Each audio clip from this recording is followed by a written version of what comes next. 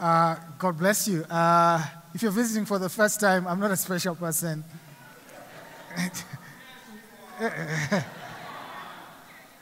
thank you, thank you, thank you. Before we go in, I would like to call Daniel and James. Uh, uh, they're members of our body, and we'd like to pray for them as they relocate. They've been serving faithfully in the worship team. Let's give it up for those guys.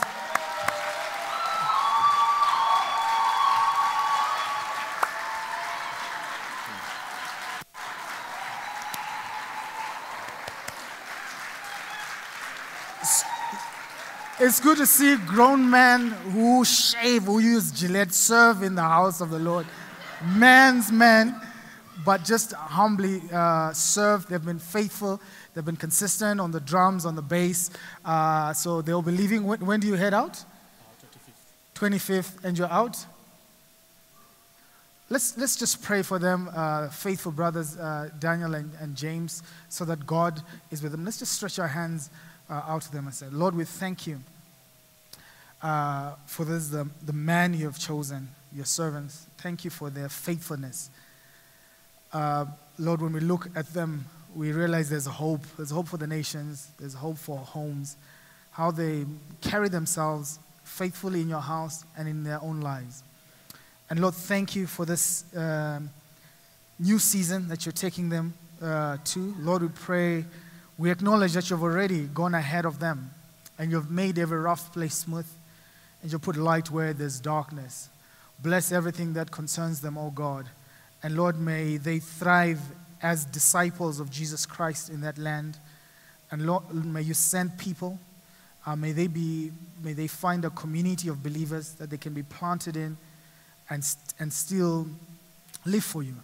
And Lord, we pray that we emulate what they've represented and what they have done uh, for your glory and for our joy. In Jesus' name we pray. Amen. Let's give it up for this, guys. Thank you so much. Thank you so much. Uh, let's pray for the word. Let's, let's pray one more time. Lord, we thank you for the opportunity to open the Bible. It's, it's your mind, your very mind, the very mind of God that you have access to it. So, Lord, we help us to help me to approach it with a sacredness. Uh, but, Lord, we acknowledge that everything we need to hear for life is in your word. Everything we need to hear for godliness is in your word. And we thank you that through your word, that which we do not know, you teach us. That which we do not have, you give us. And that which we are not, you make us through your word. And we pray for every other place in this nation and in the nations of the world where your gospel is being preached. May Christ be exalted and may man be drawn to him. In Jesus' name we pray. Amen. So this morning I'm continuing with a series that uh, Craig started us on uh, for the last two weeks. Um, I feel like that guy, you know, that guy when the, when the match is about to end they put in a guy for three minutes just as a delaying tactic. the team has already won because I feel like Craig did such a splendid job uh, in the last two weeks. Uh, and there's been many, many people who have, uh, people have responded to this message in different ways. Uh, this last week, we had a couple donate a van, a spanking new van to the church. Can we give it up for that? That's just, that's amazing. Uh, there's someone who brought a cell phone. It's like, here is a cell phone for Jesus. So as the Lord moves you, whatever the Lord moves you, if it's a goat, if it's a cow, just, just uh, obey and, and, and, and just give it uh, to the Lord. Generosity. Uh, it's a topic that you hardly hear in this church um, because, one, people have generally been very generous uh, in this church. Um, but it's also not an easy topic to preach because money is a trigger in lots of ways. There are people who are in this church because you left your church because they're talking so much about money. and you're like, I like this church because they never talk about money. uh, which is good, well and fine. But the Lord spent, spent a lot of time. There are people who say the Lord spent more time talking about money than he did about heaven and hell. Uh, which is true. It's not, it's not to underscore the importance of money, but it's showing you how much people were preoccupied with money, even in the time when Jesus lived. That they were constantly thinking about ways to earn it, to spend it, to save it, and to find it. So, hence, the Lord continuously talking about it, right? Uh, because the Lord was continuously addressing uh, the, the subject. Uh, and whether we have it or not, uh, just go to slide before, just whether we have it or not. Uh, the Bible says the love of money is the root of all. And it's talking about both its presence and its absence. it's not talking about the presence of money. That's why the following verse says, Some by craving for it have wandered away from the faith, not having it. Some by craving for it have actually wandered away uh, from the faith. But it's important that we, we have this conversation because of how much scripture has given time to talk about it. It's not an easy job because you're trying to find safe ground and you're still trying to find what the Lord uh, says about it uh, faithfully uh, without appearing like you're doing a fundraising, which we're not. We're just trying to say, okay, Lord, what is your mind uh, about money? Because 50% of our wake time, we spend it thinking about money. My older brother has a theory. Uh, I've not proved it yet. Uh, ever since we were young Christians, he used to say, always used to tell me, says, TC, three quarters of the things that you pray for, you wouldn't pray for those things if you had money.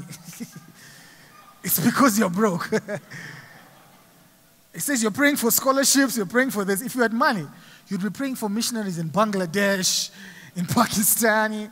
We're praying for the things that matter. Uh, I haven't proven that theory. That's just my brother. It's not the Bible. and it's not word, that's just him. Uh, but we want to summarize what, uh, what uh, 2 Corinthians 8 and 9 uh, talk about. Let me just give a bit of context uh, before we go in there. What's happening is Paul is trying to, is fundraising uh, for the Christians in Jerusalem. So he's trying, in the process, is so he's, he's fundraising, he's raising money for Christians, for Jews who are in that place, because there was a hardship uh, that they were going through. So as he makes this collection, in the process, he begins to, uh, he finds this as a teaching opportunity for people to learn about the principles of giving. What is God's mind for giving in the process? How does he teach them on this background? He teaches them one, he says, look at the example of our Lord Jesus Christ. Uh, second thing, says, look at the example of the Macedonian, the churches in Macedonia. It was not one church, it was churches that were in northern Greece, and the churches were three. That's the Philippi, the Thessalonica, and the Bereans. That's where the book of Philippians and Thessalonians, Bereans, you find them in Acts chapter 17. Those are the three churches that he now gives us. Like, look at these three churches, right? And you see some of that conversation, even when he writes to the Philippians, he makes reference to this event uh, about uh. So he says the example, but the second thing he talks to them, he says, even as we give, he explains to them, he urges them and exhorts them to give. And he says, you know what, you should give. Uh, because of the Lord, look at the example of your brothers and sisters. Uh, but here's a need, here's a gospel need that is there. Begins to supply the information that this is the need that is there what was happening in that place during that time is people were going through suffering and hardship for three reasons. One, there were pilgrims that had come, uh, they had no money, they had nothing, they'd come to the center uh, of religion. Uh, second thing, there were people who were persecuted for the reason that they gave their lives to the Lord, because this is just after, the, after uh, people had crucified the Lord. So people uh, are believing in the person who was hated, who was despised. So, because of that persecution and that belief in Christ, there was loss of income, there was loss of jobs, there was loss of family, there was loss of social status, right? That's the other reason this massive need is there. The third reason is just economic hardships during this time, because the Roman government had really impoverished uh, people during that time. There was so much need. That's why you find in Acts chapter 2 and Acts chapter 4 people are selling their homes to meet the overwhelming need of other Christians. Because there was such economic hardships on the common person Uh, so that is sort of like uh, the background. So he gives them the example, he urges them. But the third thing that he does in chapter 9 is that he begins to talk to them about the benefits of giving. He's like, here's an example of the Lord. Here's an example of the brothers. Here's why you should give. And make sure you even report. He even talks about financial reporting, that we're going to report it. He reports this in Romans chapter 15, verse 25. He report it in verse 24, he talks about it. says, Give proof and evidence that this money has gone to this use, right?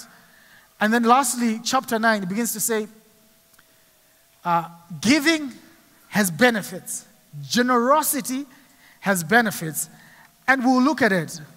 And a simple definition from, from just these two passages of generosity. Allow me to read uh, a few verses and then we'll refer back to some. It says in uh, 2 Corinthians 8 from verse 1 We want you to know, brothers, about the grace of God that has been given among the churches of Macedonia. For even in a severe test of hardship and affliction, the abundance of joy and the extreme poverty have overflowed in a wealth of generosity on their path. For they gave according to their means, as I can testify, and beyond their means, of their own accord, begging us earnestly for the favor of taking part in the relief of the saints. There is the, the need there. And this, not as we expected, but they gave themselves first to the Lord and then by the will of God to us. Accordingly, we urge Titus that as he started, so he should complete uh, among you this act of grace. But as, excel, as you excel in everything, in faith, in speech, in knowledge, in earnestness, and in our love for you, see that you excel in this act of grace also. I say this not as a command, but to prove by the earnestness of others that your love also is genuine. For you know the grace of our Lord Jesus Christ, that though he was rich, yet for, the, for your sake he became poor, so that, uh, so that you by his poverty might become rich. And in this matter I give my judgment. This benefits, this benefits you, who a year ago started not only to do this work, but also to desire to do it. So generosity here is a natural, consistent, systematic, and occasionally spontaneous giving of ourselves, right, of who we are and what we have to God uh, as a response to what God did. Romans 8, verse 32 says, He did not spare His own Son. Right? And says, What more grace shall He give to us, Him who did not spare to His own Son? So it becomes a, a posture towards God and others as a response to His love. Um, and and, our sac- response to His love should be one of cheerful sacrifice and generosity. So, generosity is something that is part of our identity as Christians. Usually, just in society, when we talk about generosity, it's spoken as just a personality trait that is unique to certain individuals. Like, ah, this person is generous. it's not something that should apply uh, to everyone. But as you look, next, next slide. As you look at this gospel, you might have come across this will. It's, it's, it's crafted differently in, in, in different places. This is basically a, a tool just to gauge our growth in our discipleship journey, right? At the center is a gospel centered life, a Christ centered life, right? This is when you decide that I am no longer at the center of my own life, but Christ is my Lord and Savior. And the spokes that are coming out are the, now the fruits of the gospel and the Holy Spirit. So, those are just five key areas that we can use as barometers and indicators of how we are growing as disciples. Number one, we know prayer and Bible intake, right? That uh, the more uh, the more you love the Lord, and the one of the indications of growing in Christ is dependency on God in human evolution, the less you depend on your parents or guardians, it's the more mature you are. But in the Lord, the more you depend on the Lord, the more desperate you are for the Lord, is actually the more mature you are. But unfortunately, sometimes we want to carry it into our Christian journey and think that now I depend less on the Lord, so I'm mature. So that's one of the indicators prayer, communion, and coming into contact. The other one is evangelism and missions, right? Most people who were filled with the Holy Spirit in the scripture, they didn't become mystical, they became missional, right? They see that this is God who is loving and who loves others, whose desire is to reach the lost. So, evangelism, that's another indicator. Another outworking is community, right? You can love God and hate his people. Like I've, i think I've said this before that the New Testament has no context for a Christian who's not in church. Right? You cannot be a Christian. I keep saying that salvation is not like a KFC meal or Chicken Inn meal where you can order one pizza without chips, where I just want Jesus as my Savior, but not his people. It's not possible in the Lord. His church is part of your salvation package. You can't be Christian and not be actively belonging uh, or involved in his community. And the other thing is character, which is the fruits of the Holy Spirit, right? That's the outworking, uh, the fruit of the Holy Spirit. The Bible doesn't call it the fruits. It calls it what? One. The fruit uh, of the Holy Spirit. That everything comes from that relationship. But another indicator is generosity. Because it's consistent with the nature of God. It's the essence of who He is. That for God so loved, that God is love. And it's generous is God who is giving God. So generosity is a big indicator of our faith and our walk. Next slide. And here's what we're called we're called to live as stewards. called to live as stewards. A steward is a person who's been entrusted with one another's resources who seeks to manage those resources according to the owner's vision and values. Right? Each of us were created for stewardship. Remember Genesis 1 uh, for dominion. I've given you dominion over the earth and authority to govern all the resources. So we're accountable to the owner of the resources. We are caretakers. We are recipients and managers of God's resources. Here's what happens imagine an investment manager in a bank or a banker. If he wakes up and he has made a deal and it's brought about a billion US dollars, they're excited. But in that point, he does not confuse who owns the money. God's, God giving you his resources, he doesn't stop from owning the resources that he has given you. So this banker does not confuse the resources that have come as his. If he does, it's actually called stealing. That's why the Bible says, Will a man rob God? It says, Will a man rob God? You're not managing, it's basically saying you're not managing the resources, you're confusing. Because First Chronicles, this is First or Second Chronicles, forgetting the right address there, which says, Everything we have given you everything from your hand. Says, From your hand, we have given you. We have given you. So our calling is to be stewards. Everything that we have, what is it that we have that He has not given to us? But here are a few descriptions that are coming from this, from this passage, some that were mentioned in the, in the, uh, in the, in the, in the previous thing. Number one, generosity is more than money. It's, it's, it's, it's, it's what I talked about. You should check out a book called Counterfeit Gods by Tim Keller when he's talking about the power that money has over the potential to dominate us, uh, on how it can easily become an idol, a source, an idol of approval, where we use it as a security idol. That our trust, remember when Timothy was told, teach the rich not to trust in riches, but to trust in God who richly provides, right? That we can easily, our hope can easily be transferred into material things, right? And we use it as, an, as a security idol. The second thing, we can use it as an approval idol, right? And the third thing, we can use it as a control idol. So that's what he's talking about. That it's more than, it's more than that. God is not asking, He's not trying to get money out of your pockets, but He's trying to get idols out of your heart. I remember the basic definition of idol is anything that you sin to get and you sin if you don't get. That thing is an idol in your life. Anything in your life that you're willing to sin to get and you sin if you do not get, that's an idol. And Craig mentioned this that God doesn't want to have your money, but He wants to make sure that your money doesn't have you.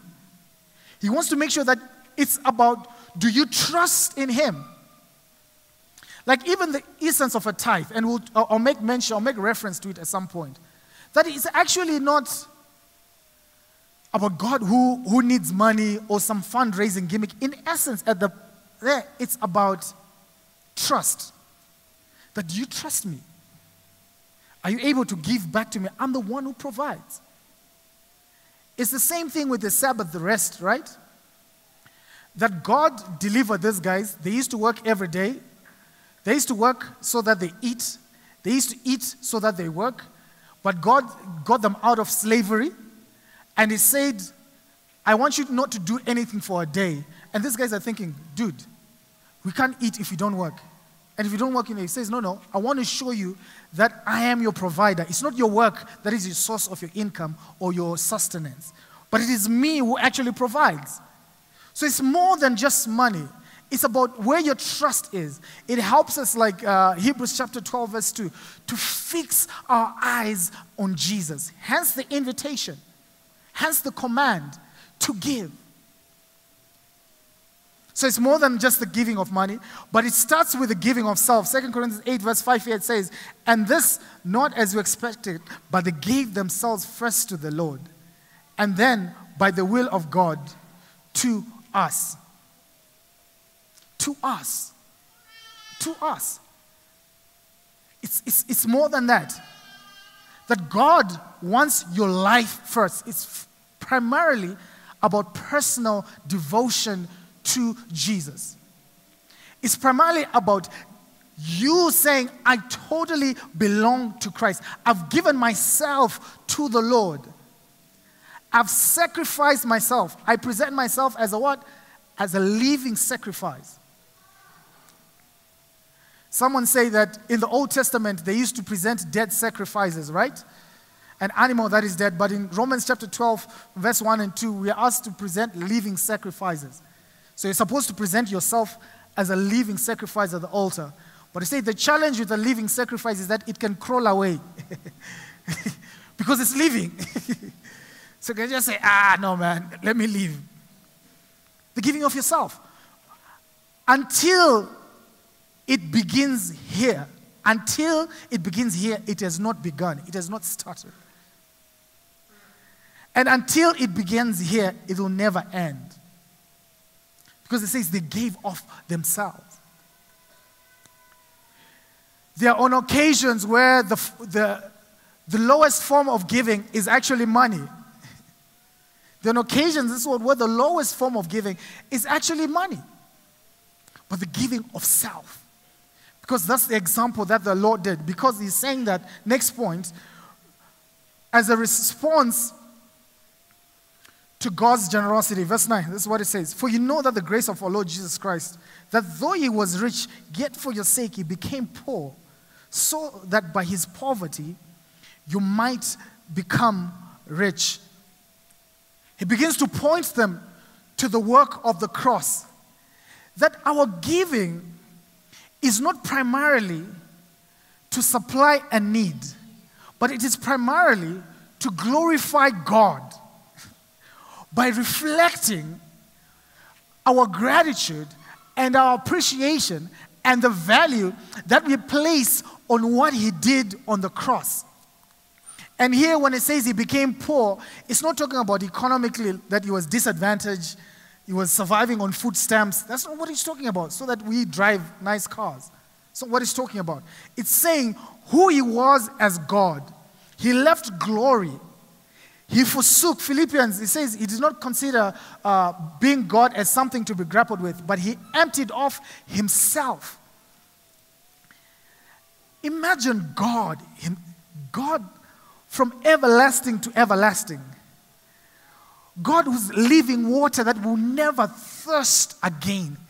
He says his water will never thirst. Imagine he came, became man, and he started being thirsty like one of us. Imagine God choosing to become thirsty, choosing to become hungry, choosing to become limited, choosing to become, to be mocked by people he created. Like I remember, I was raised by an African mother, and I, I learned that from her. Like this woman created me. Because when I was young, she used to tell you, "I'll put you back where you came from." I was like, "Whoa, that sounds scary." But she, she, it's exactly it's like I dare not mock this woman who created. And you know, an African mother, when she calls you by your full name, your nickname, and everything, like Tatenda you're like, "Hey, it's my creator on earth, right?" It's, it's the same thing that Jesus allowed himself to be mocked, emptied of himself. And what did he give, you might ask? He gave forgiveness of sins. Forgiveness of sins. He adopted us. What he gave, imagine what he emptied. You and I are adopted. We're in the kingdom of darkness. Now we're in his marvelous light. We're not a people, but now we're a people. We're now part of the commonwealth of Israel. That gift, that I'm now a child, says, I no longer call you slave, I'm now a child of God. Do you know that God is as committed to you in equal measure that He is committed to His Son, Jesus Christ? That's what adoption is. That God is just as committed to you as He is committed to His Son. What gift is that? Undeserving people? He gave us an eternal inheritance. Ephesians chapter 1, from verse 1 to 14, that we're seated with Him, we're blessed with Him, we are holy in Him, we are righteous in Him, we are sealed in Him. Read, read Ephesians 1, from verse 1 to 14. All the things that we are in Christ Jesus. And this identity that He has given to us, not what we have. You see, here's an amazing thing about the the, the disciple uh, John in the, in the Bible. You know, most of us, our identity is based on, on what we like. If I ask you, who are you? Like, uh, I like golf. I like traveling. I love this. I love this. I love this. Even your compare. But John was not identity. You know what, how, how John would call himself? He'd call himself John, the disciple that Jesus loved. His identity was based on who loved him and what, what he did for him. Right? It's like, guys, that's what Paul now as he teaches this, he says, look at this generosity. Look at this radical generosity. We can never pay it back. So Peter talks about we were, uh, you were not saved with perishable things such as silver and gold from the futile ways of your forefathers, but such as the blood of Jesus without blemish and one of my favorite verses about Jesus dying is Acts chapter 20. It talks about God Himself purchased the church with His own blood. I think I mentioned this before the, in the church that I grew up in, Hatfield Baptist Church. Senior minister there, every, every time for all the years I was in, before he took the offering, he used to say one thing. He used to get up and say, Saints, I want you to think about the importance of the gospel. And then I want you to think about the urgency of this message. And then give according to your estimation of those two things. Sit down. That's why when we give when in a room, you shouldn't be giving. When you think about giving, you shouldn't use a calculator. You should sit down with the cross of Jesus and look at it and saying, what did it cost him? What is my response? How do I reflect such an act? It's a response to the cross of Jesus Christ. It's our love and our reflection. It's not payback. it's not what it is. It's a response to that. But the other thing is that it's biblically, biblically constrained and personally determined. Here's an interesting verse. Uh, first, he mentions it here. Um, uh, grace, uh, for they gave according to their means, as I can testify, and beyond their means, right? And he mentions it again in 9 verse 7. He says, uh, where is it? My eyes are beginning to play. Age is finally catching up with, uh, well, it, it caught up about 10 years ago, but it says they gave in their means and they still gave beyond their means, that each one must give as his heart, as decided in his heart, not reluctantly or under compulsion, for God loves a cheerful giver. This is what it means in that statement. One, basically, he's saying, and throughout the Bible, that we give to causes that enable God's kingdom to advance and to flourish. And saying, two, we cannot be manipulated or coerced into giving. We shouldn't do that. We shouldn't do gimmicks or anything. We allow the Spirit to move in the hearts of people. But it's also saying on that thing is like, no, people should give what's proportionate uh, to what they have. It's saying they gave within their means, first of all. Right? It's saying if you have little, you give little. If you have more, you give more. It says you give is proportionate. But in the same verse, it says it needs to be proportionate, it needs to be in wisdom, because there are many people uh, who have been taken advantage and impoverished by the prosperity gospel, right? I'm like, give within your means. Their, their families are suffering, which then is against God's principle. Their families are suffering, people are suffering. They're giving off their time in a way that jeopardizes their own family or their own marriage to God. God is like, no, no, no, no. It should be constrained within biblical, within boundaries. And yet, it should be sacrificial. It should be sacrificial. And here's another thing. Uh, another thing about it is that he begins to talk to them about the personal benefits. That it has personal benefits. And it's not an easy thing to say because of the lies of the prosperity gospel, right? Which is basically a, a pyramid scheme of give, uh, you know, and it'll come back uh, uh, to you. So people avoid these scriptures because of that excess and that abuse. Where people now are, think God, I give him money so that he gives us more. It's a self enriching project. Now, the only people who benefit from the prosperity gospel are the preachers themselves and nobody else. No one in the body uh, benefits, but it's the preacher himself. But what does it mean to say giving has benefits? Here are the three benefits.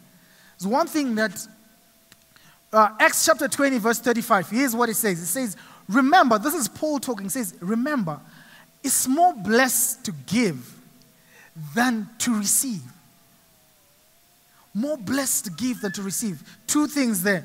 Number one, this is the only time where the Lord is quoted, and he didn't mention it anywhere in the gospel. This quote, you don't find it anywhere in the gospel. It's mentioned outside of the gospel. That's where you hear a red letter that is outside of the gospel, and he didn't say it anywhere. But what he was basically doing with this statement, he was quoting, like, you remember the Lord, he was quoting like a mantra or a preaching or a message that the Lord had. And this is what it means. Usually, when we, he is more blessed to give than receive, we start thinking about uh, the receiver is inferior like, ah, so if I'm receiving, no, no, all of us are recipients. But this is what it means. Uh, this, it means that it's talking about ambition.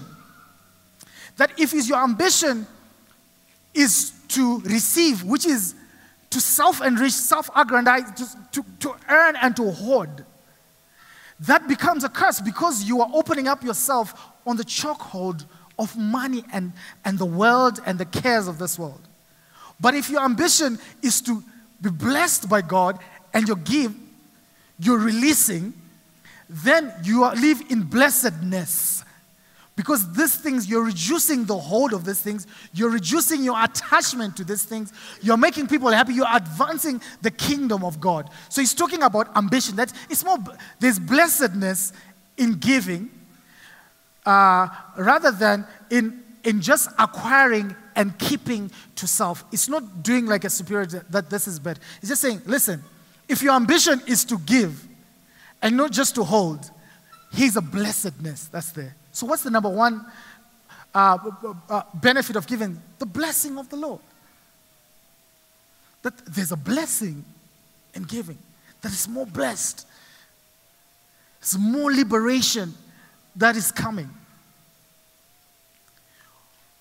We can pray our way out of our attachments to things of this world, but there remains no greater deliverance than actually just doing it and letting go and saying, God, here it is, I give it to you. But the second benefit uh, that is there is mentioned is mentioned there. We usually ignore it. It actually says, God loves a cheerful giver. There seems to be indication that there's like a special love that God has for cheerful givers. Right? It says, God loves a cheerful giver. It's almost like God has a thing. God is looking, He's like, you know that thing like you have with your spouse or anything where it's just like you have this, you're around people, but you know, we have a thing that's going on. We have, it's just like a special love, a special relationship. God actually loves. Isn't this a benefit? Isn't this a benefit? That God loves a cheerful giver. But here's the other thing that, that the Bible actually teaches. Uh, uh, Luke 6, verse 38. Give, and it'll good measure. Okay, this side, this KJV version. Give thou unto give and it'll come back to you. Good measure, pressed down, shaken together. And it actually talks here that whosoever sows sparingly will reap sparingly. Whosoever sows bountifully reap bountifully. Each one must give as he decided in his heart, for God loves a cheerful giver. And verse 10, he supplies seed to the sower and bread for the food, and you supply and multiply your seed for sowing and increase the harvest of your righteousness. Here's what he's talking about. We give so that we don't get. We give so that we give some more. When you give, God actually gives you good measure, pressed down, shake it together, running over. But look at the person that He gives to. He says He supplies seed to the sower. He gives back to the person who's continuously giving. He's not just enriching you to say, Oh, I have many, I put this in the Lord and then it matured. Here's the interest. No, he's saying, as long as you're a sower, you've decided, you know what, whatever I give, I'm going to sow. He provides seed to the sower. he provides. And that's one of the commitments that we need to make to experience the blessing of the Lord. I want to turn on the, I'm a sower. I want to be a sower so that you give seed and the harvest will come. So, good measure, pressed down, shaken, running over. It's not for self enriching people, it's for sowers. for people who have made the decision and you've gotten on that journey uh, for sowers. But here's a thing, a place that we want to end up to before we go to the next slide. I was a Christian for a couple of years before I actually started giving uh, in any way. Uh, the Lord, through His grace and people ministering, but also just getting practical tools that could help us, uh, you know, just figure out next steps in terms of our generosity journey. So here's a practical consideration I want to give. Here's a, a, a, a you might have come across, there's a book that's written called The Generosity Ladder. And there are many things about the generosity ladder that are out there, but this is what it basically is. Go to the next slide. It's just a tool, right, designed to help people move from money being their God to money being a tool from God's kingdom. And it focuses on behaviors and attitudes of our hearts rather than on amounts and percentages, further transforming us into the likeness of Christ. So it's not about, uh, you know, you've heard about churches where people say, the people with the 1,000 shillings this side. So it's not like uh, an, an, an, ascension uh, of sorts. Each rung of the ladder represents growth in a lifestyle of generosity and sacrifice. These are not rungs uh, you slowly ascend to, to get to God, but simply a way to evaluate your growth in your generosity. Because scripture encourages us, 8 verse 7, that we need to grow in the grace of generosity. So it's not biblical, it's not a law that we're putting in this church, but it's just a tool to help us process uh, on our generosity journey. And I think it is useful uh, things that we could use. Here's a, uh, the first uh, rung on the ladder is the initial giver. This is someone who has not yet given to KVC, but you, wants to, you want to move from just being an attender. Where you've been coming, you love the church, it's good, the worship is great, uh, the, you know, the kids' church is great, you're blessed, you've actually identified as such, but you've just never given to the kingdom of God through KVC. So here's the thing to process that would you need to make that decision to move to being an initial giver and to become one you need to consider just making that, that first step. And some of us need to make that donation to say that decision today to say, listen, I want to get on a generosity journey. And a step has to be made. Right? A step has to be made. S- second slide of the consistent uh, giver. This is someone who's a regular giver, giving many times through recurring payments. Start to think of giving in the same way about other things. Other expenses in your budget are paid regardless of seasons of feast and famine, right? Where having a lot or having little doesn't affect your giving. You're, you're consistent uh, in your giving. And you, you have to set it up. You have to budget for it. Uh, it. It needs to show up in your budget to say, you know what? I just don't want to give out at, at whims or when I'm whipped up or when a preacher comes or when, uh, you know, when PT is, is induced. But I actually want to be consistent. Because if you see 1 Corinthians 6, uh, uh, Paul is actually encouraging people to put a system in place. Because he say at the beginning of each week, please give. And he does that in many other places. Put a system in place to build uh, consistency. The next one is intentional. Someone who thinks about the giving in relation to other things they spend their money on. They consider a percentage amount they want to consciously grow in. Look at their budget, and here you're thinking, you're not just saying, I want to be consistent, but you're thinking, my view of God and my commitment to build his kingdom. This is my view of God. This is the commitment I have towards the kingdom. How does that reflect in my giving? Right? It's just to help you process uh, in your journey. So you consider giving in relation to other monthly, uh, the same way you, you do those things, your mortgage, your insurance, you put them. And then you, this is a point where you could choose a percentage that will represent a new level of giving and potentially a tithe. Let me just mention there, just stop and mention. Broad uh, topic. The New Testament doesn't talk about tithing. In fact, this is the most that Paul talks about money, two chapters, over 40 verses but he doesn't mention the tithe, right? Jesus comes into contact with the Pharisees when they're talking about the tithe. He does not deny that you should tithe. There's no particular percentage. A tithe is a, it's it's a standard requirement, it's a guide, right? Because in the Old Testament, in fact, they tithe, they gave more than 10%. It was maybe 27% because they tithed to the temple, they tithed to the Levites, they tithed to the feasts, and they tithed to the system of feeding the poor. But where we are at, we're at grace giving. Between us and the people in the New Testament, who has received more from the Lord? It's us. So the tithe is just a basic guideline. Should you tithe? Yes, if you, may, if, you if you have that conviction, you should. It's important in that it's just a standard guide. That's what it is.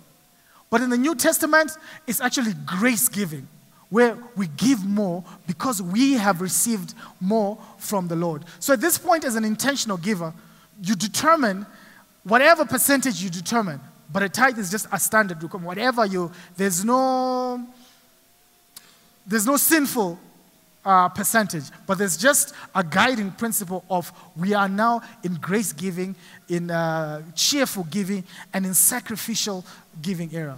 The last one, uh, second last one, this is sacrificial giving. This is someone, go, someone who's no longer thinking, what am I supposed to give, but rather, what am I not giving and why? Right? Like, what am I not giving?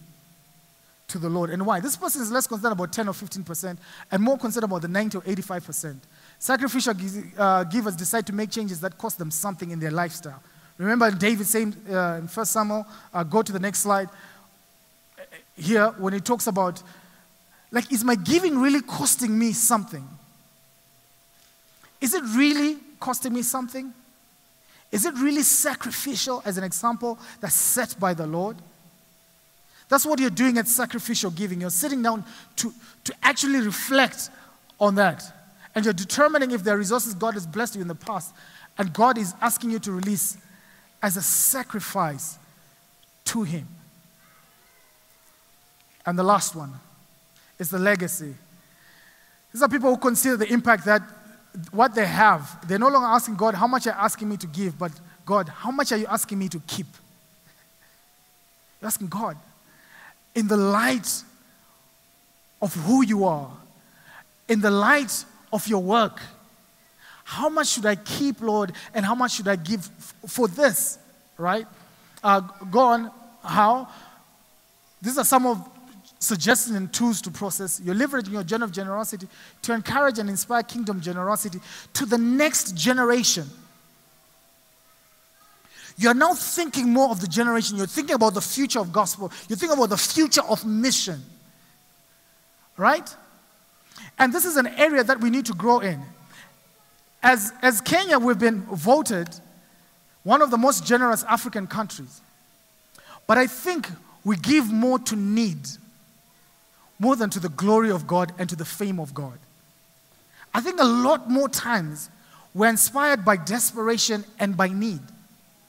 But I, I pray that the Holy Spirit starts moving a lot of us, especially in the, in the next 50 to 80 years. Missionary funding is drying up. There's no money that's going to come from anywhere to support missions coming out of this continent and taking the gospel further. We have to start thinking. We have to start thinking at legacy giving. Like, what does this mean? What does this mean to start giving that way? Whether it's of ourselves, we, we, we, we, we cannot, guys, we cannot. I was reading a book on missionaries in the, uh, from the assemblies of God in the, who were coming to Africa, how they gave of themselves.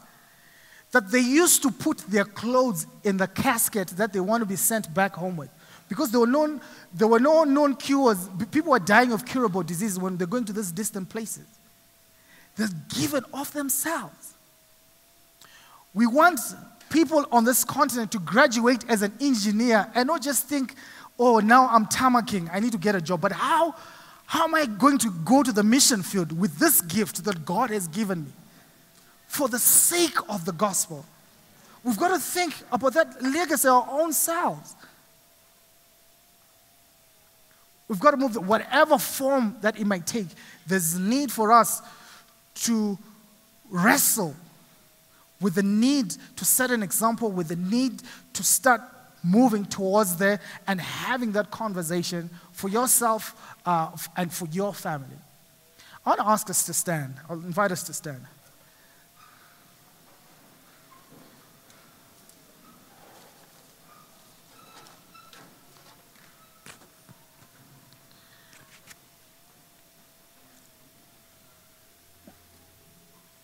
We want to take up uh, this is not a special offering. This is not asking you give more than you had planned. No. Just want you to give with a consciousness. with a consciousness that God, there's more to this. We want to give just even in response to some of the areas that the Lord could have illuminated in your heart as I spoke. That He could have just prodded you that mm, this area you might need to think of. Give in saying, Lord, as I give my offering, Lord, I, this is not, this is not, my, this is not my God. Remember, Jesus said you either worship God or man. said, God, this is not it. But to say, God, I make, some of you are already on that journey, but make that commitment again. Say, God, I want to be on this generosity journey. I want to be on this generosity journey. And some of us, we just need to pray this morning, even if you have nothing to give this morning. I just want you to pray on behalf of yourself your business or your company, that God make me a sower. Even as that offering basket goes in front of you, that God, I want to be a sower because you supply seed to the sower. I want my business to be a sower because you supply seed to the sower. I want our family to be a sower, sowing family. I want my children. I want, ev- I, I, want, I want to be a sower, oh God. And it is you who supplies seed to the sower. So let's just give with that consciousness and the, uh, prayerfully in response to that as we are led in worship, and then I'll come back and close the service.